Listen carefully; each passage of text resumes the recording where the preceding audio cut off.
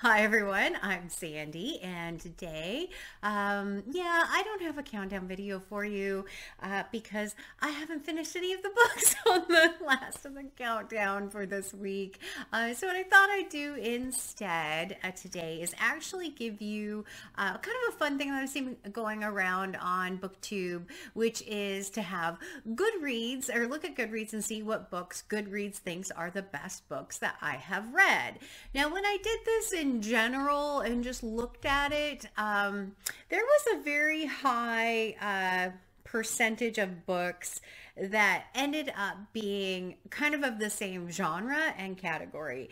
And so I really, in looking at that, wasn't super happy with that particular part of the list. There are four books right at the top for um, you know some smaller published authors, which you know, kind of wasn't really what I was necessarily looking for. And then there is a very high percentage of romance. and so I thought how I would twist this around for me is to really um, is to really go through it from the 1001 book list that I've been reading from and kind of look at the books that Goodreads says are the best books off of this list. And then next week, what I will do is give you my top reads of 2021 for both books on the 1001 list and not on the 1001 list. So you can kind of get a good comparison almost of the two.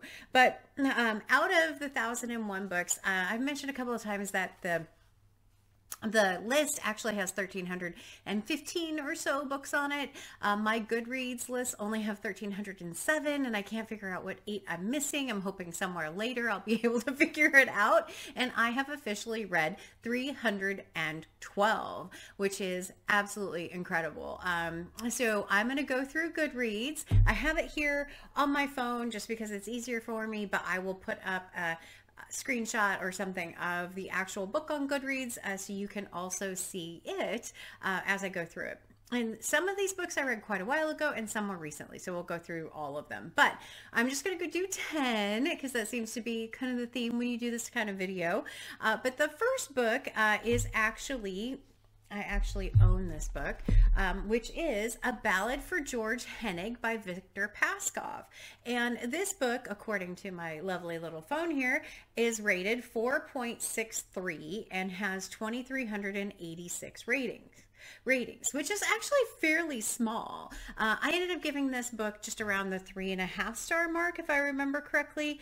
Um, you know, it follows an elderly violinist, uh, violin maker, and kind of his interactions with the family. I I don't know why it has such a high rating. It's actually the highest rated book out of all of the books on the list, according to Goodreads.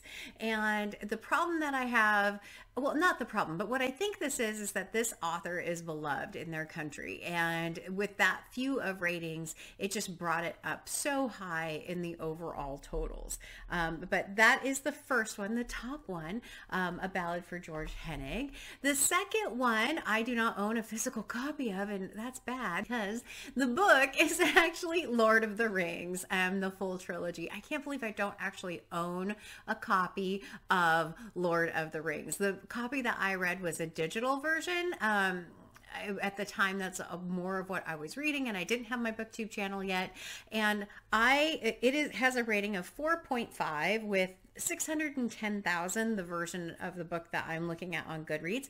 And I of course gave it if you can see that five stars. Um, it is one of my favorite reads off of the list in total. I read this it says when did I read this I read this in December of 2020, so before I started my channel, and I really, really loved that book. I think it was something that having seen the movies and then getting to compare the books to it, uh, it, you know, it's a classic for a reason and it's beloved for a reason. And it definitely was an absolute amazing read um, and well worth this. I think it should be maybe in the first spot of the ones I've read so far.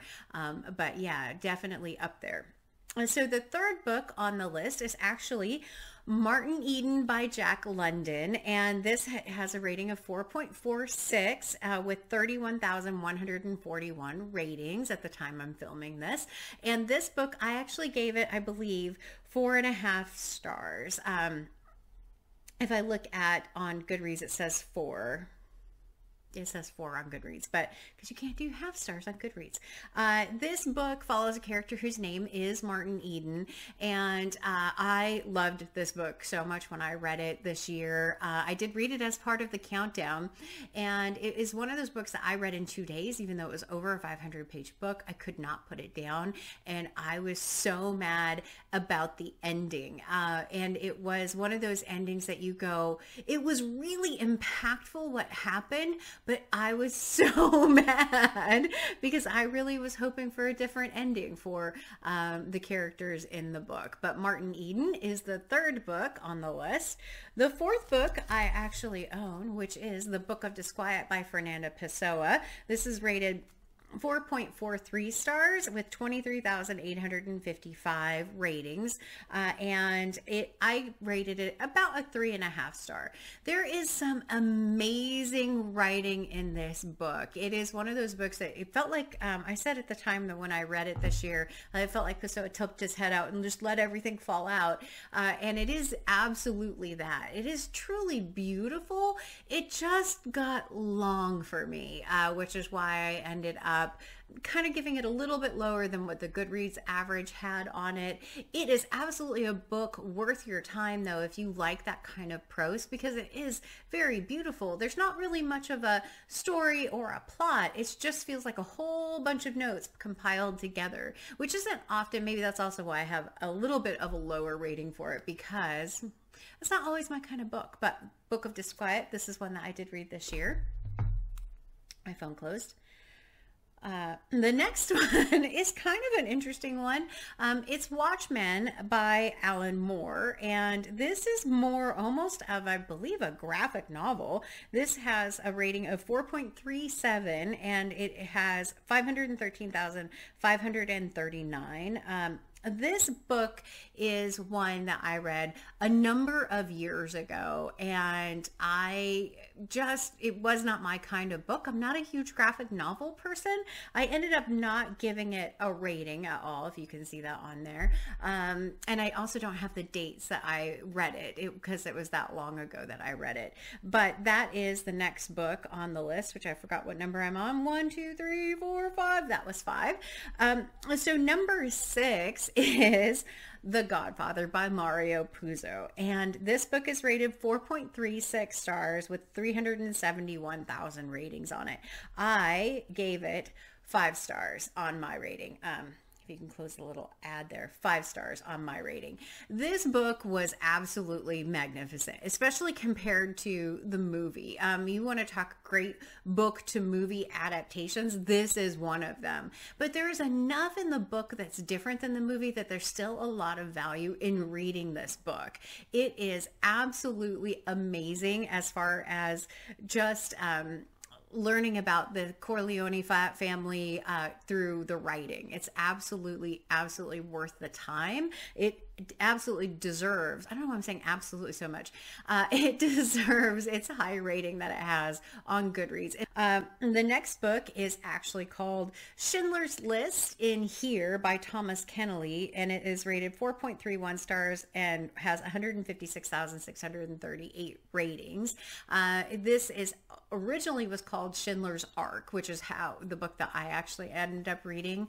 Um, and it's one of those two from a book to kind of movie adaptation. The movie adaptation is so uh, popular that the book just kind of felt a little bit supplemental to it. Uh, I mean, not it feels weird to say it's supplemental because the movie was obviously based off of the book.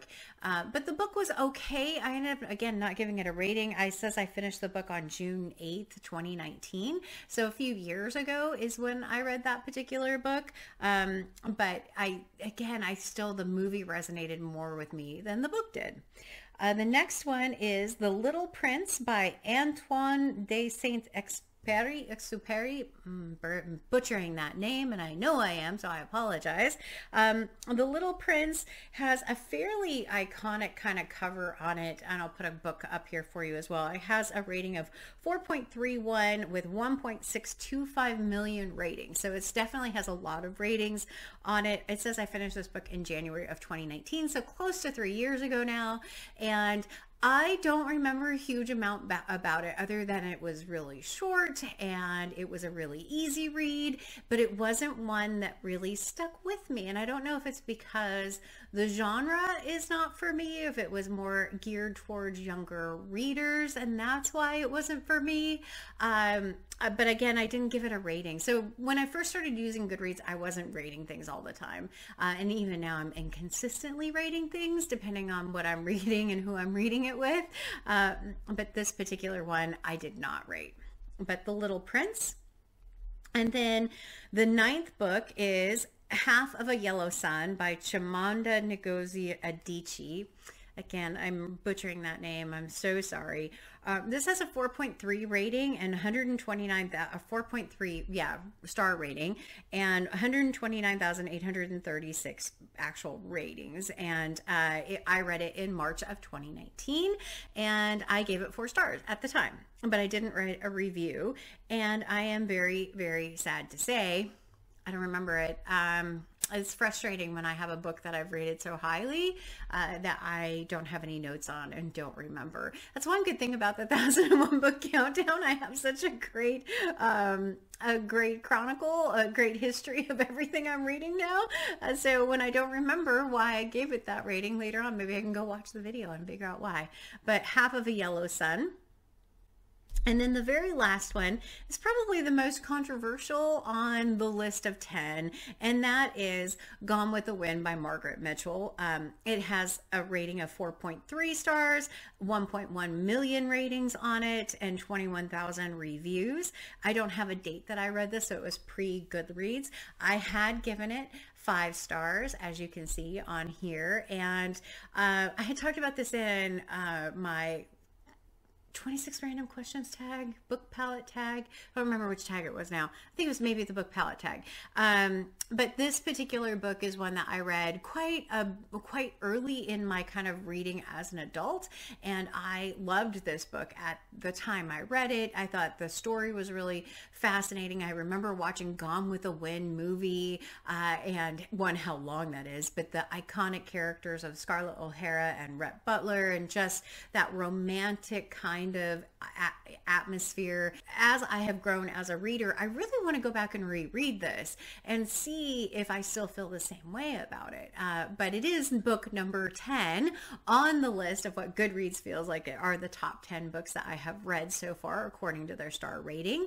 Um, and, you know, I'm about mixed in there as far as which ones I think were really good uh, with things like The Godfather and Lord of the Rings, and then mm, okay on a couple of other ones. So kind of a fun one, but hopefully in the next week or so, I will do a video about the books that I have read this year that I think are my top picks um, and see what you think of those. But for now, that's all I have for what I'm reading right now. What am I reading right now? For my weekly update, I have under the Skin by Michel Faber. And as you can see from the bookmark, I'm a good halfway through this. I am reading this with Heidi from My Reading Life. And this book is weird, but it's also one that's grabbing my attention quite quite a bit. I hope it continues um, to grab my attention towards the end. But this one is on the 1001 book list, but not the 2021 list. But I have almost halfway through that particular book. And then I have The Golden Ass, um, which is on the 2021 list. And there is a bookmark in here because I have started it and started this translation of it and comparing it to kind of that more modern translation has been an interesting experience. Uh, but yeah, I have started this one. And then I have Detransition Baby by Torrey Peters. And as you can see here, oops, I am a good two thirds of the way through it. We had our second, I'm redoing this as a buddy read with Elle Thinks, and we had our second check-in today. Uh, so I'm waiting to hear back from her about that, but I should finish this one sometime next week. Oh, it's not on the 1001 book countdown, of course. And then the other book that I have a bookmark in, but really haven't started is A Tale of Love and Darkness by Amos Oz. This bookmark is in here on page one. so the bookmark's not really not really a bookmark. It's just holding it for when I'm ready to start this particular book. Um, but yeah, A Tale of Love and Darkness by Amos Oz will be uh, hopefully the next one. Um, and then maybe next week I'll have my another countdown video for you and hopefully get below three. But for today, as always, like, comment, and subscribe. And until next time, and for my very special friends out there, love you. Bye.